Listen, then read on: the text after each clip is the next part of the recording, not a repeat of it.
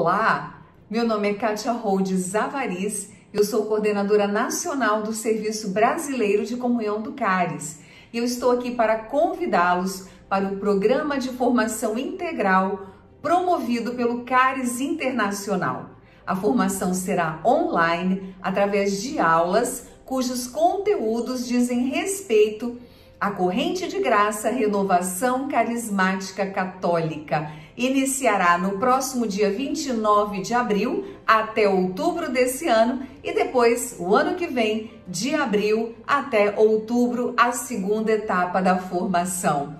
Vale a pena, faça sua inscrição e participe dessa formação. Deus os abençoe.